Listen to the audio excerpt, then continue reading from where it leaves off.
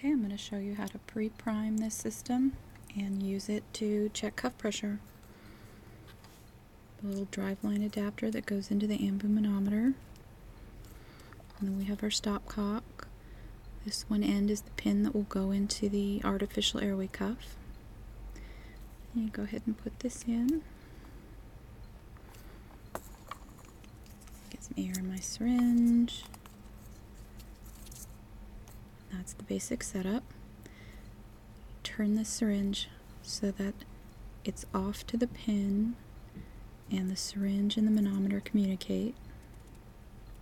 You go ahead and inflate it to about 20. That's what we mean by pre-prime it. You fill it with a little bit of air ahead of time. Now connect it to my cuff. Now if you open this so that everything communicates, can inflate your cuff. Put it just past 20. Then I'm going to disconnect. Okay, I'm going to reprime it and check it again and see what the difference is.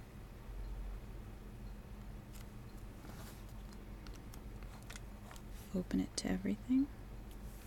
Yep, right about 20. You can increase it, decrease it, whichever. Okay.